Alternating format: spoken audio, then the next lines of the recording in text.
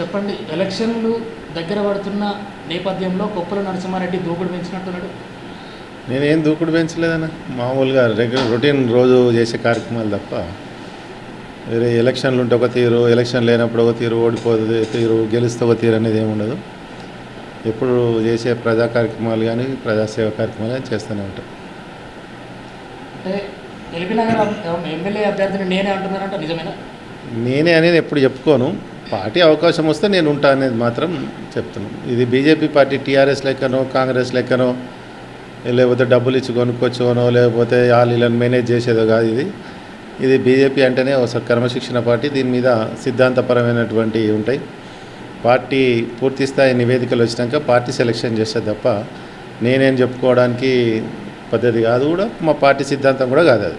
అంటే మీ బీజేపీ పార్టీలోనే కొప్పర నరసింహారెడ్డి ఎమ్మెల్యే అభ్యర్థిని నేనే అని చెప్పుకుంటున్నాడు. అంటే మీకు ఎవరికైనా ఏమైనా అధిష్టానం నుండి ఏమైనా సపోర్ట్ చేస్తున్నారా? ఏమైనా బలం ఇస్తున్నారా? ఎవ్వరు చేయరు. అధిష్టానం ఎప్పుడు కూడా చెప్పదు. ఎలాంటి మాట చెప్పినా కూడా ఖండిస్తుంది. ఇంకోటి వార్నింగ్ కూడా ఇస్తుంది. పార్టీ ఎప్పుడు కూడా సిద్ధాంతపరమైనటువంటి వాతావరణాన్ని క్రియేట్ చేయమంటుంది. పార్టీ ప్రజలలో ఉండాలి పార్టీ నిరంతరం పనిచేయమంటుంది. నాకు ఒక కార్పొరేటర్ బాధ్యత ఉంది. మొన్న మొన్ననే కిషన్ రెడ్డి గారు బండి సంజయ్ గారు ప్రత్యేకంగా నాకు డిప్యూటీ ఫ్లోర్ లీడర్ కూడా ఇవ్వడం జరిగింది. ఆ కార్యక్రమాలతో ఇంకా కొద్దిగా ఎక్కువ కార్యక్రమాలు చేయడంతో మీకు దూకుడుగా అనిపిస్తుంది అంతే. ఎల్బీ నగర్లో బీజేపీలో వర్గపరు ఉందంటగా నిజమేనా? వర్గపూర్ ఎప్పుడు ఉండదన్న. వర్గపూర్ అంటే కాంగ్రెస్ వాళ్ళకి టీఆర్ఎస్ యొక్క బహిరంగ సభలలో లేకపోతే స్టేజ్ల మీద తిట్టుకోవడము ప్రెస్ మీట్లు పెట్టుకోవడం మా దాంట్లో ఎప్పుడైనా చూసిరా? ప్రెస్ మీట్లు పెట్టుకోవడం కానీ ఎవరైనా ఆరోపించుకోవడం కానీ అది అని ఏముండదు.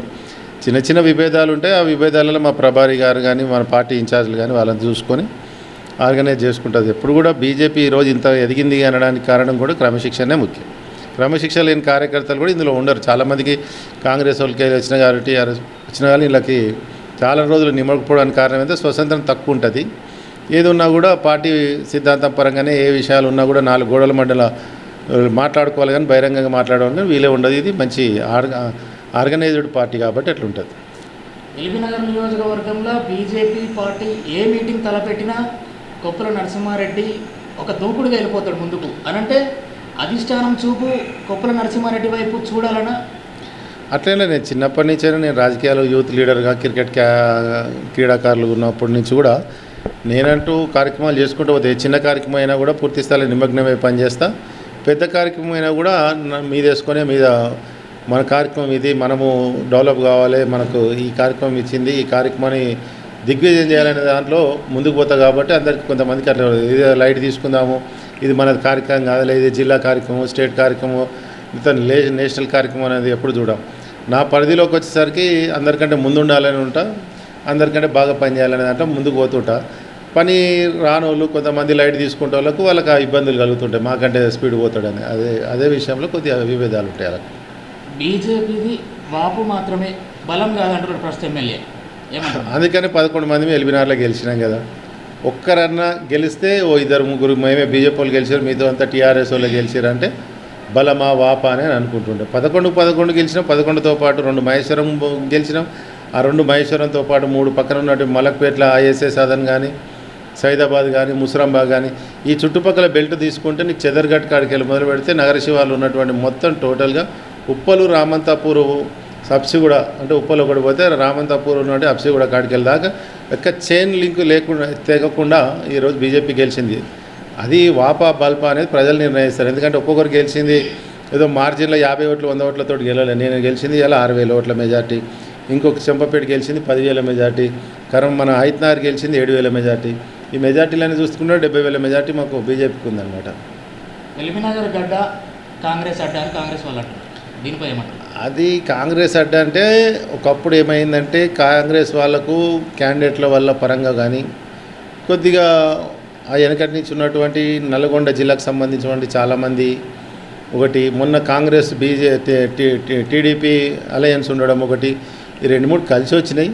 కలిసి వచ్చినాక వాళ్ళు చేసుకుంటున్న స్వయంకృత అపరాధాలు కానివ్వండి ఎంపీ గారు గెలిచిండ్రు అటే వెళ్ళిపోయినారు. గెలిచిన ఇక్కడ T Congress MLA Sudheer Reddy గారు పార్టీ ఇమీడియట్గా నెల రోజులు కూడా భరించలేకపోయాడు.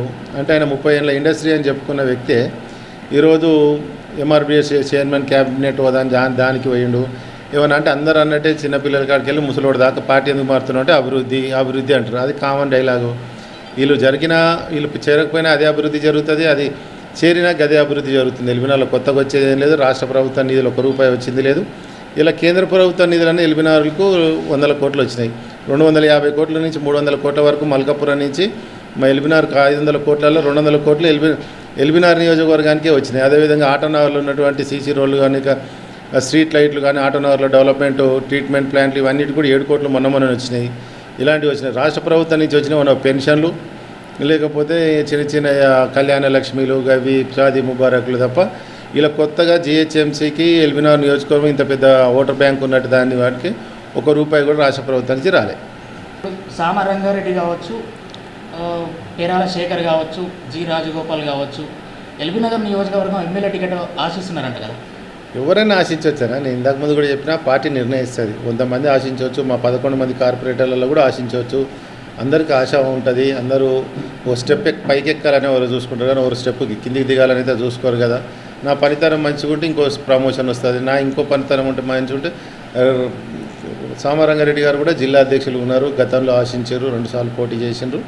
ఆయన ఆశించడంలో తప్పులేదు ఆయనకు వచ్చిన మా నా ఎలక్షన్ ఎట్లుంటే అట్లనే పనిచేస్తాము.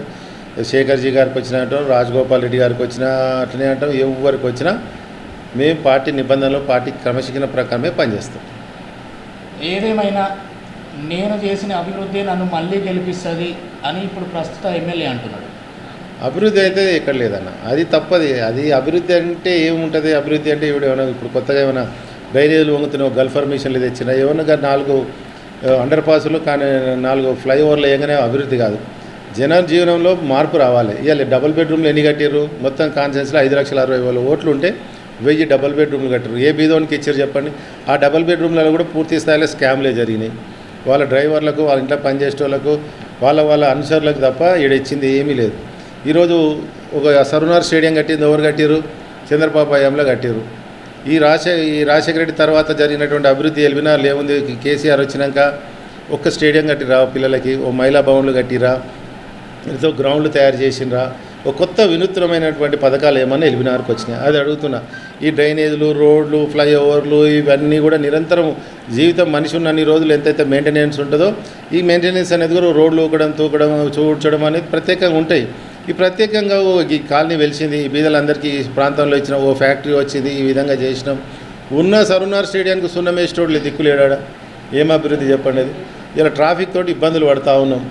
ఎక్కడ పోతున్నారు? ఇలా గరీబోడు వచ్చేసి కూడా మధ్యతరగతి వ్యక్తి వచ్చి ఎలిమినార్లు వ్యాపారం చేసుకొని మళ్ళీ ఊర్లలోకి పోయేటోడే కానీ వాడు వచ్చేసి ఓ- రెండు వేల కిరాయికి మూడు వేల కిరాయికి ఉండే పరిస్థితి ఉందా? ఇలా ఏం అభివృద్ధి ఈ అభివృద్ధి అనేది అనేది వా- అవాస్తవం. ఏంటంటే సొంత అభివృద్ధిని చేసుకోవడానికి అదో కొత్త బహానా నేర్చిరు అందరు కూడా అట్లనే నడుస్తుంది అనమాట రానున్న ఎన్నికల్లో ప్ర- ప్రభుత్వం బీజేపీ ప్రభుత్వం రాబోతుందా? హండ్రెడ్ పర్సెంట్ వస్తుంది. ప్రజల వ్యతిరేకత ఎంత కనిపిస్తుంది. ఇలా ఏం చేస్తుంది? టీఎస్ మన సంబంధించినటువంటి ఉద్యోగాల పరీక్షలు కూడా నిర్వహించలేని పరిస్థితి.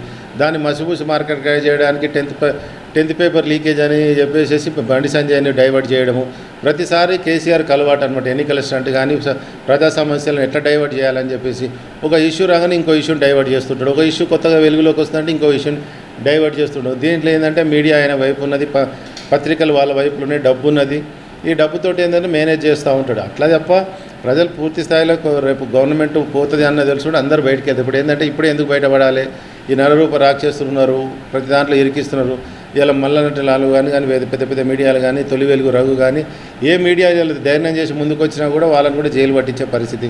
సామాన్యులు ఎడదట్టుకుంటారు వీళ్ళని అందుకని చెప్పేసి ప్రజలు రేపు టైం వచ్చినప్పుడు చూపిస్తామని చెప్పి ఆ ప్రజలు కూడా బీజేపీ మీదనే నమ్మకం పెట్టారు ఇవాళ ఇన్ని ప్రజా ఉద్యమాలు చేస్తారు ప్రజా సంక్షేమ కార్యక్రమాలకు ముందుండి పనిచేస్తారు అంటే కూడా బీజేపీలే ఇలా మోడీ గారు నెలకోసారి వచ్చిపోతారు అమిత్ షా గారు ఓ పదిహేను రోజులకోసారి వచ్చిపోతారు కేంద్ర మంత్రులు వారానికి రెండు రోజులు ఇక్కడనే ఉంటారు ఎన్ని రైల్వేలు పనులు చేస్తున్నాయి రేపు ఎన్ని వందే భారత్ ఎక్స్ప్రెస్లు ఎన్ని పనిచేస్తున్నారు నేషనల్ హైవేలు అని తెలంగాణ మీదుగా ప్రతి రాష్ట్రానికి లింక్ ఎందుకు ఇస్తున్నారు?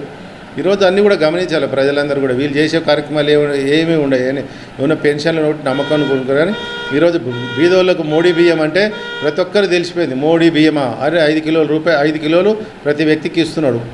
ఇలా ఆరోగ్యం సంబంధించినటువంటి ఎన్నో కార్యక్రమాలు కేంద్రం ఇస్తున్నది.